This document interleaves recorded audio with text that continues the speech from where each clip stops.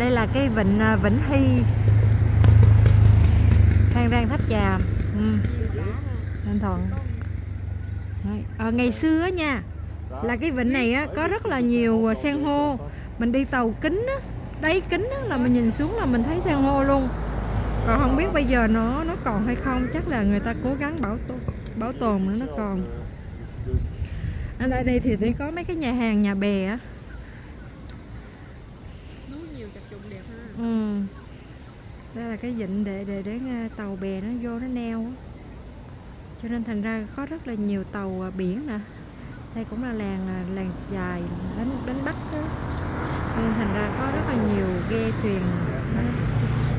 Còn còn mấy cái thuyền trắng trắng á, là thường á, là thuyền du lịch nhà hàng khách sạn đó.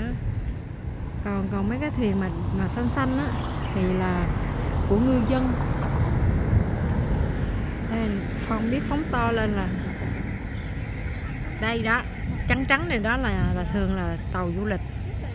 Tàu à, cánh à, tàu à, đáy kính để mà coi san hô.